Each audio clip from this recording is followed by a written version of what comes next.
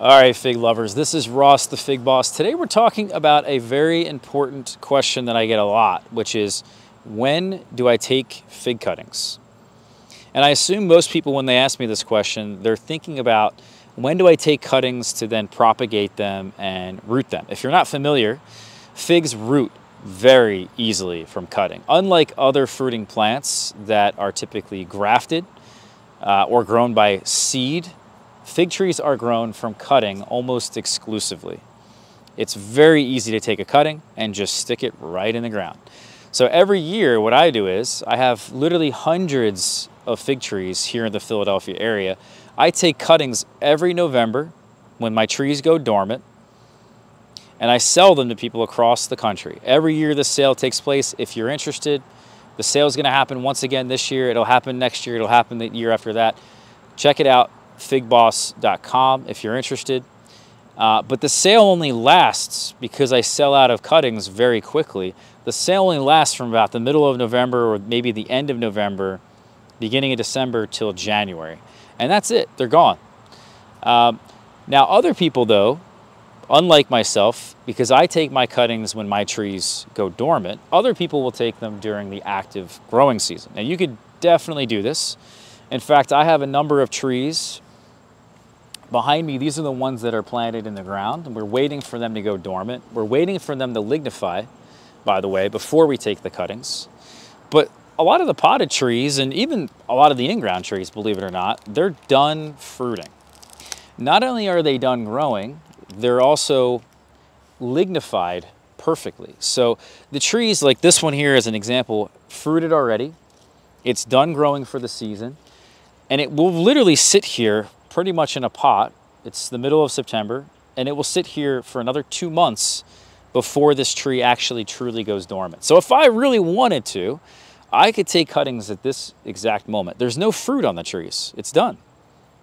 You know, if I were to prune a fig, like some of these in-ground trees I just showed you guys, they're continuing to grow and they're continuing to fruit. They have a, a lot of them have a second crop of main on them. And what some growers do after they actually finish fruiting, if your season's long enough, like let's say in California or in the tropics, they'll hack them back, prune them really hard and get them to flush another set of growth, which then sets another crop of figs. So there's really no rules to this. I don't prune them until they go dormant because I like to let them lignify as best as possible. I find that they last typically longer that way. They also look better to the buyer's eyes. the buyer is happy when they visually see the cutting, not happy with the results necessarily. Um, so I want to give them the best product and you guys the best product. So I wait. And I have got this at this point now down to a science for what I do here in my climate. If I take the cuttings right now, there's really no loss in quality. This is perfectly lignified. It'll root just as well. The only problem is you guys need to have the right environment. You guys need to have an environment that's close to 78 degrees Fahrenheit as possible. If I were to take these cuttings here in the Philadelphia area, very soon the weather is going to get pretty cold here.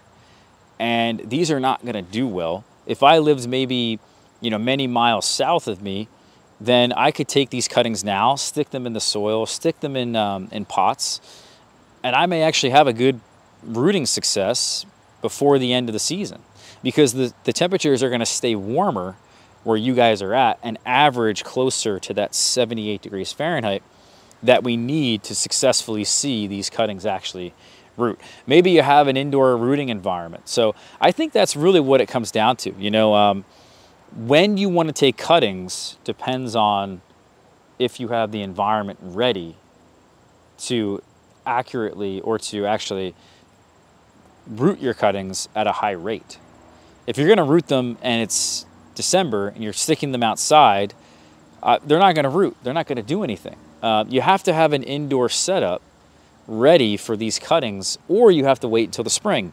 That's what I do. I take my cuttings in November, maybe early December, and then I don't I keep them in my fridge, believe it or not, for 4 months out of the year until it's about the 1st of May where I actually start sticking them in pots and I put them on the patio here behind me. So I think that's really the answer. You know, um, there's a lot of advantages, I think, and disadvantages to pruning at different times of the year to take these cuttings. But generally, the answer is do you have a setup ready to make this work? Um, so, thank you guys here for watching this. Please hit the subscribe button, hit the like button for me. We'll see you for the next video.